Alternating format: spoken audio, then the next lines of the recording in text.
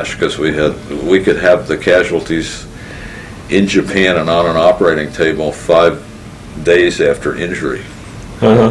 which was time enough to uh, close most of their wounds, which had been debrided originally at the time of, of injury in Vietnam. So they were stabilized for about 36 hours and then flown to us. And uh, we routinely anesthetized them and undid their dressings the next day. And uh, were able to close most of the wounds. Then, of course, we got post-operative complications uh, or more extensive injuries were also sent at at an appropriate time. But they were staged in Japan before being sent back to the United States. And, and so what happened, what happened next in, in, in your career then? Then I uh, was fortunate enough to come back to San Francisco to do my thoracic, my chest surgery residency at Letterman Hospital. Uh-huh. And I stayed on the staff at Letterman for two more years, so. And then I had an opportunity to get out of the Army, and by that time, frankly, I was uh, disillusioned by the Vietnam War. Oh, really? And um, uh, could muster very little enthusiasm. I had a lot of enthusiasm for the people I was taking care of, but uh, the fact that we were getting draftees sent back to us uh, in a steady stream from a war I considered unnecessary uh, disenchanted me. Uh-huh. And, and, but anyway, after you finished your thoracic uh, residency, then, Spent, as I say, two years on the staff here at Letterman. Then I, then I got out of the Army and uh, entered private practice uh, here in San Francisco, and what year is that? 71. Okay, and what, and, and what happened since seventy-one? Well, I I had a, a a wonderful career practicing thoracic surgery uh, here in San Francisco. I retired from full-time practice in, uh, I guess, 1996 or so. And So, how many years is that? Let's see, seventy-one, ninety-six, eighty-one, ninety-one, 25 years. twenty-five. It, but that was after 13 years in the Army. Oh! So it's a total of 38 years altogether. You haven't worked hard enough. Uh, after semi-retiring, I uh, assisted at cardiac surgery for another four years until I, I quit in 2000. Uh-huh. And Oh, you did? You, you totally retired for your thoracic practice? uh, totally retired from the active practice of surgery, yeah. I mean, you still have some kind of management role in the, And what I'm doing now is a labor of love, really. I'm interviewing patients in California who are requesting uh, permission or authorization to use cannabis Oh. okay. But before we get into that, Tom, something I want, to- I want to, uh, hear a little bit from you about is, uh,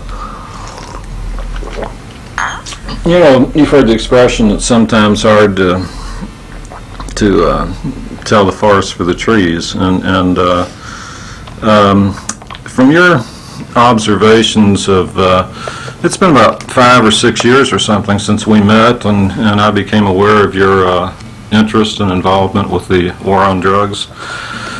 And uh, I'm just curious uh, what you, what your kind of, the big picture is. I mean, you know, as, as a physician, as two physicians together here, uh, I mean, it's, it's been kind of remarkable to me that, uh, that there hasn't been more of a physician voice in this whole thing that's going on. It's kind of like it's, uh, it's uh, something that was uh, a concept born of the legal profession, by the legal profession, and, and for the legal profession. Uh, at the same time, the movement, NORML and so forth, there's nothing that gives the legal profession more credibility, in, in a sense, is, is, is the people, uh, the attorneys who are active in, in att- trying to make change.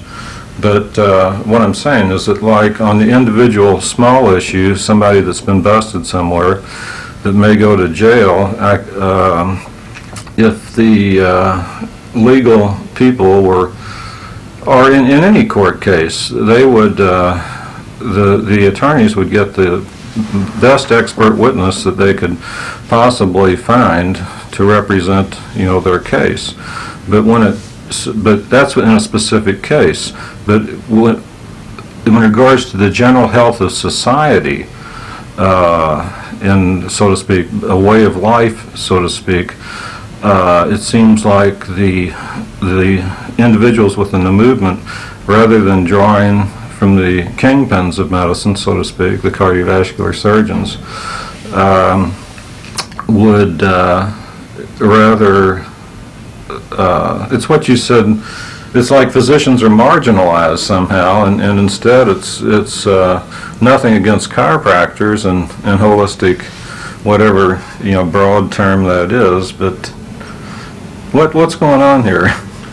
Well, I think that physicians have been scared out of the drug war. Uh, Actually, it began a long time ago, when uh, the Harrison Act was passed back in 1914, not to be too dry and academic, uh, but I'm doing that anyway. Well, okay, Um, The idea was that they were using the physicians to record, a, a small tax was paid on every narcotic transaction uh-huh, overseen by the physician, in other words, his prescription. So it's just a way to keep track of who was using and not to interfere in any way. Well, a few years later, they began prosecuting those doctors who were signing lots of prescriptions. And uh, that was the nose of the camel coming under the tent. And the early Supreme Court cases all involved doctors, right from 1915 through 1925. And of course, uh, by carefully choosing their opposition, the government won case after case and established their right to essentially usurp this practice, of this part of practice from physicians. And that, that's, and the, the war on drugs that Nixon declared in 72 was just an intensification of the same idea. Just, nothing cha- changed, it was just more money and a few different laws to intensify the, the prosecution of drug users. The, the war on drugs shifted a lot from physicians in the beginning to patients or to, to users or to addicts later on. I mean, actually, your involvement was more, uh, more a matter of the war on drugs in, in general, the, the uh, harmful effects, if you will, of the war on drugs, uh, as opposed to marijuana specifically. Um, and, uh, Right, I came on board pretty much as a, a theoretical purist, and I thought that all prohibition was silly, and I didn't really differentiate much between marijuana and heroin, although the public did, uh, and still does, of course. But, uh, you're right, I've, I've moved from the theoretical back into the, uh, personal, and the reason for that is California's Proposition 215 and what I perceive finally as a need for physicians who are willing to stick their neck out and write recommendations. and so that's what you've, you've gotten into yourself do- here? I started doing it gradually last year on the request of, you know, friends and acquaintances, but uh, starting in November, I uh, made myself available to some of the local so-called buyers clubs. Uh-huh. What's, what- what's been your experience with this? Well, there's a huge demand, uh, which isn't met because most physicians are unwilling to write these recommendations, and there are relatively few physicians who will do it. Write a prescription for, for marijuana, literally? It's not, technically, it's not a prescription. That's an important differentiation. It's a recommendation. That's the way the, the initiative was written. So that the doctor isn't technically prescribing a medicine, and the patient's taking it with the doctor's advice. That's sort of a, the lawyers would call it distinction without a difference. But Uh-huh. the distinction is, is regarded as important.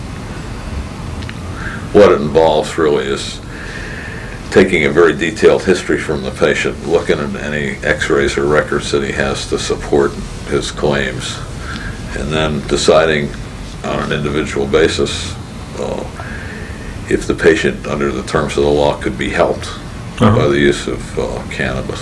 And what, and- what you've been, I mean, what kind of conditions have you been, been finding uh, cannabis uh, helpful for?